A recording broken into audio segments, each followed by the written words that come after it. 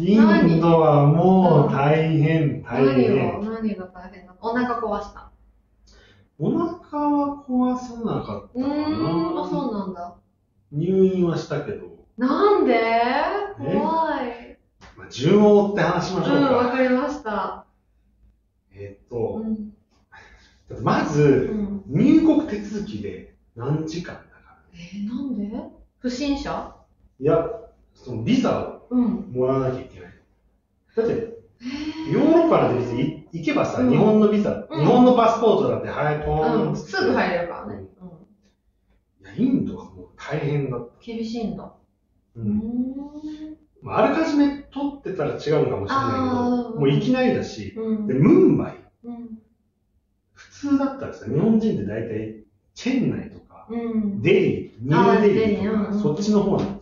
ムンバイあの、西側？日本人が行か、あんまり行かない場所だあーそっから。か。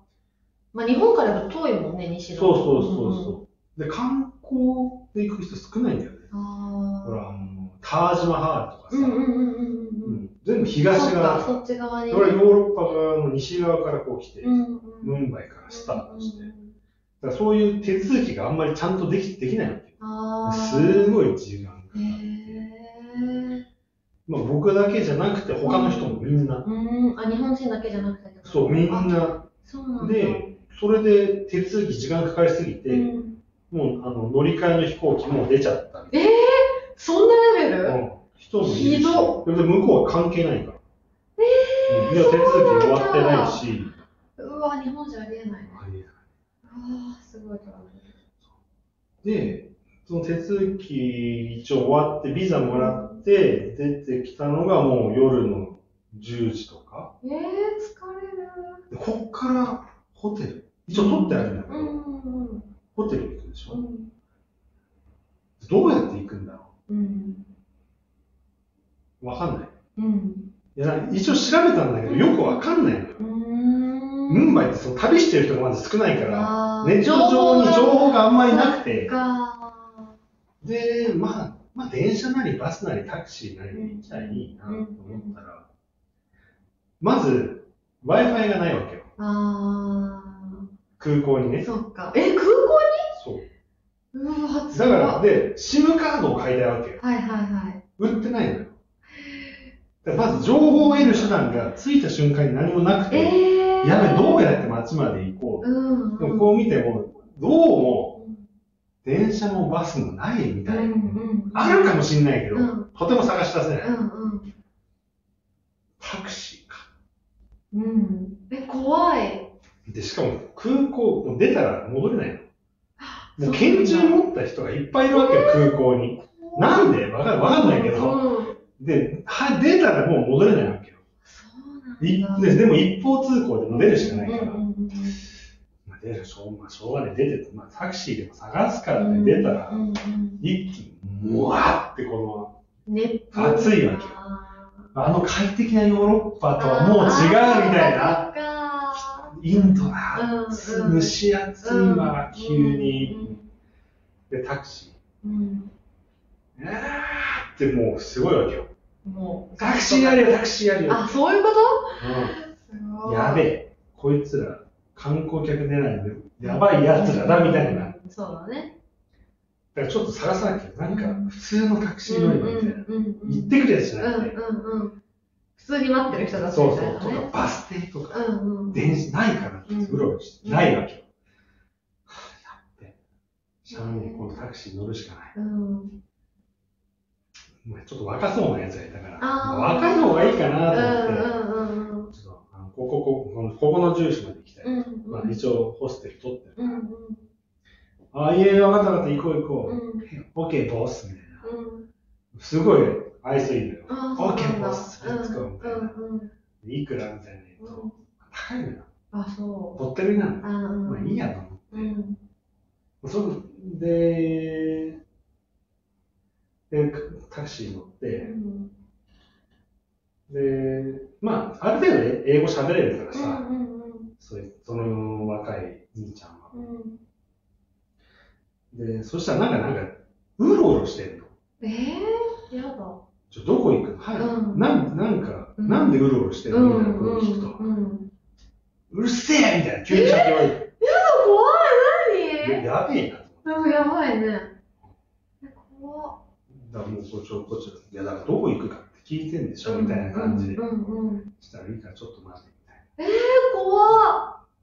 やべえな。っやばいね。うん、やばやい。でもそしたばら、い。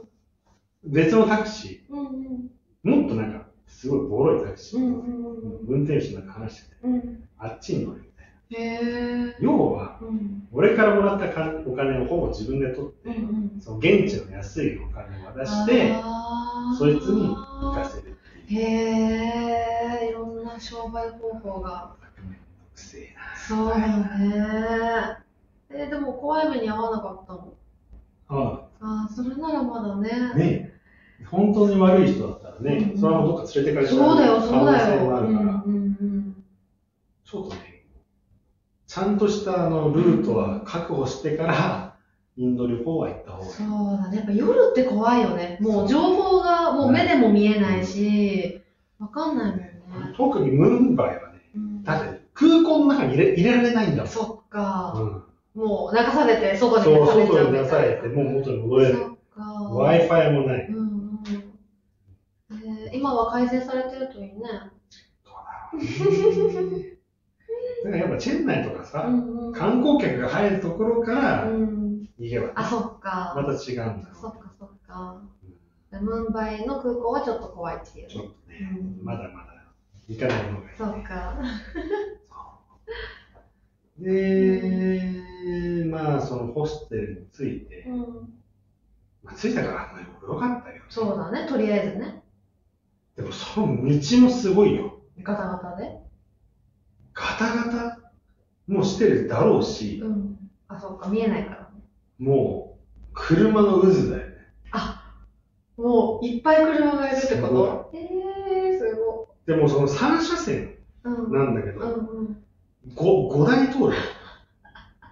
関係ないんだ。関係もギリギリスレスレで。へー。で、なんでじゃあそんなスレスレかっていうと、うんうん一生懸命追い抜こうとしてる。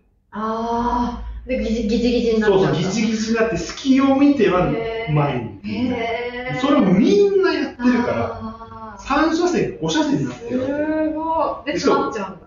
つ、つまらないんだよ。あ、みんな、ちょっとずつ、ちょっとずつ。で、こう2台行くでしょ。うん。でも2台行った時に、こっちがちょっと前にいたら、ここっちが行けないじゃん。うんうんうん。その隙をついてこっちが前に行くみたいな。えー、すごい。あでもぜ、なかなか衝突はしない。ーじゃあ、うまくなんかあるんだね。で、しかも、みんなブーってずっとやってる。あ、え、夜なのに？うんうわ、うるさそう。で、だから追い抜くよ、みたいな。プーあの、邪魔だじゃなくて、邪魔だ俺先行くよ、みたいな。そうそう、右回りよ、ブー、みたいな。もう挨拶みたいな感じなんだ。ちょっと人通ってたら、俺横通りよ、ブー、みたいな。面もう白い。カオス。えー、もう、プープープーブー、プーブー。ブー、もうずーっと。で、そこに街の中行ったら、あのリクシャとかの三輪バイクみたいなの入ってきたら、怖いね。やねばい。もうやばい。三輪タクシー、どうやって追い抜くかだからさ。そうだよ、ね。しかもあいつらの方が細いから、うんうんうん。ガンガン追い抜いてくるから。で、プープープーってやりながらさえ、ー、やばい。やばいね。で、到着したら夜だからさ、うんうんうん。街の中とかももう、まあちょっと夜だけど、うん人はいっぱいいるのよ。うん。で、もう、路肩でとにかく人寝てるへえ、そうなんだの。。いや、だからホームレスだらけ。へえ。なんだったら、うん車が例えばこう三角形にこうんう、こう車が通る道とか、うん。ここの真ん中ってさ、うん。スペースじゃん。うんうんうん。もう、もうこの、この一家族の家みたいになってるからねそうなんだ。ここ私たちの家みたいな。エリアがあったり家族で仲良く暮らしてますみたいな。もう暗黙の了解みたいな感じで、エリアが決まってるんだ。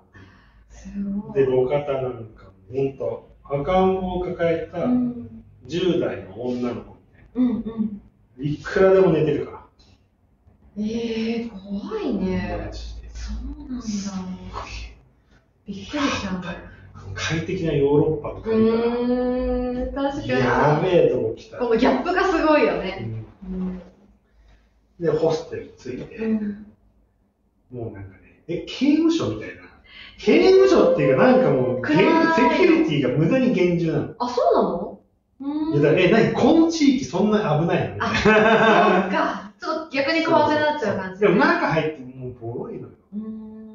で、まあ、俺が悪いんだけど、うん。安いところだし、ああ、そっかそっ一か。泊も300円とか、す ごい500円かわかんないけど、もいや、ほら、ハンガリー1000円ですごい良かったうああ、そっか。ねインドでうん。300円、500円だったら、まあうん普通なんじゃないかなっていう、ちょっとね、勘違い。ひどくて、そうなんだ。まあ暑いのか、うん。一応シングルベッドなの。うん、二段ベッドではない。うんまあ他にも6人、8人ぐらいかな。うんうん。エアコンがないの。ええー、し、でも暑い深もう夜深夜とかについてるから、うんうんうんもう起こしたくもないし、すごい。えう。とりあえずもういいやつ荷物だけはうんうんになって、あっちいなーって。えー、まあなんとか寝て、あ、寝たんだ。寝るしかないかうん。うん。まあ、疲れら。だっててるし、ね。Wi-Fi もないの。あ Wi-Fi ルームって書いてあるの。あ、そうなんだ。全然捕まんないから。えー、もうこて。のもうこの Wi-Fi ダメだみたいな。どうしよう、Wi-Fi もねえし、わかんねえ。で、まあなんとか朝になって、うんまあそれシャワー浴びようと。うんまあ暑いからもう汗が出てるし、うんそのね、ドミトリーの部屋にシャワーがついてるわけよ。うんうんキュッキュッキュッあ水出ねえな、みたいな。えどういうことって。ー、そうなんだ。もうやだと思って。うんうんまあ、とりあえず、まあ、いいやトイレ行きたい。うんうんトイレ行ってうん。で Wi-Fi もう一回試してみて、繋がったああー、ダメだ、繋がんねえみたいな。もうダメだ、これ。えー。だからやっぱりその SIM カードを買わなきゃ。ああ、そっかそっか。空港で買えなかったかうんうんうん。ら。SIM カード。まあ街を歩いてればあるだろううん。と思って、まあ街に出よう、でももう汗べっとるだから、とりあえずシャワー浴びたいな。お出たみたいな。うん。うん。水出たじゃん。なんでシャワー出んだなんでさっき出なかったみたいな。いや、と要は、あの停電してたの。えインドってもうしょっちゅう一日何回も停電するんだけー、ど、えー、水も止まるなぜか知らないけどそうなんだ。電気消えたと思ったら水も止まっちゃう。あ、じゃあもうしょっちゅうそういうことがあるんだ。へえまったくと思いながら、うんまあまあシャワー浴びー。て、うん。街に出て、まあこうやってしたら、こんな感じなのよ。すごいね。綺麗なインドみすごたいな。いね。うん何この人、人、うん人。うん。でもとりあえずもう今、SIM カードが欲しい。うん。で、こう、うろうろ歩き回ったら、まあ、すごいちっちゃい電気屋さんみたいなのがあって、まあ、そこまだ若い兄ちゃんでさ、ちょっと英語も喋れるから、うんうんで、まあ、売ってもらって、うんまあそれももう話せば長いから、うん。その SIM カードを買うやりとり、ああ、そうなんだ。もうちょっと割愛させてください。うん、もうインド旅行はね。そう。だからめんどくさい兄ちゃんだったけど、うんぼったくられながらも、SIM カードを買ったっそうて話を。なんだ。うんうん。うん。あのまあ、無事にね、一あ応ねの。一応これか、この僕の話世界旅してる話は、う本にするんだけど、ん。うん。本も出版しようと思うんだけど、そこには細かく書くから、あもうそこはちょっと喋りは割愛して、あ。インドばっかりになっちゃうからね。そうそうんこの回がね。そうそう。で、えー、で、ムンバイはちょっとまあ観光するんだけど、で、結構、あ、サまモサ。そうそう。これいくらだと思う？30円。?6 円。超安いのよ。安っ。サモサとか、チャイティーとか。あー、あんな美味しい。もん6円す。ごーうん駄菓子だね。そうそう。だから30円。だから30円もあれば、結構めっちゃいい寒さ。えー、そうなんだ。でこういうよくわかん、何なのかわかんないけど、みんな食べてるから、じゃあ俺も食えって言ったら、ちょっと優しいのよ。まあこいつ観光客なんだな、みたいな。うん、ちょっとじゃあこれ本当は辛いけど、うんうんうんあの、ちょっと甘めにしてあげるみたいな感じでくれたうんり。まあ、逆に観光客少ないから、ちょっとこう、ね、うん優しく、うん、珍しいだろうね。うんみんななんか、普通にほら、仕事帰りの女性とかも、ちょっとこれ食べてたえり。ー、じゃあ屋台いっぱいなのうん、そんななかった。あ、そうなんだ。ポツンポツンって。ね。いや、多分そういう、んうん、場所じゃなかったのかもしれないけど、うん、ちょっと充電が。あれ？充電が？